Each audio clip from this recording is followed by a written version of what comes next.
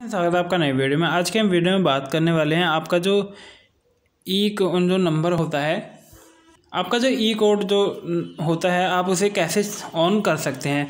तो आइए हम वीडियो को शुरू करते हैं। वीडियो को शुरू करने से पहले अगर आप चैनल पर नए हैं तो चैनल को सब्सक्राइब को वीडियो को लाइक कर दीजिए। जैसा कि आपको दिख रहा है, मेरे पास ये वीवो का फ़ोन है और हमें जाना है यहाँ से फ्रेंड सेटिंग पर।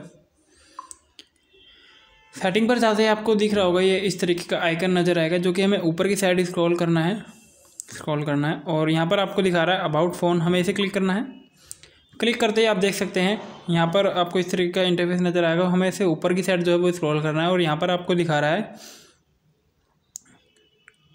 कस्टमर सर्विस हमें इसे क्लिक करना है। इसे क्लिक करते ही आपको दिखा रहा है ई कोड हमें इसे क्लिक करना है। आपको यहाँ पर नज़र आ रहा होगा ई कोड हमें इसे क्लिक करना है। क्लिक करते ही मेरे, आप देख सकते हैं मेरा यहाँ पर ऑन है। तो इसी प्रकार से आप भी अपना ऑन कर सकते हैं। तो उम्मीद आपको वीडियो पसंद आई होगी। वीडियो पसंद आई, चैनल को सब्सक्राइब को वीडियो को लाइक कर दीजिए। मिलते हैं अगले वीडियो में, तब तक के लिए नमस्कार। और अगर आपको कोई भी जानकारी चाहिए हो फ़ोन से रिलेटेड या फिर पी से रिलेटेड तो आप हमें कमेंट भी कर सकते हैं।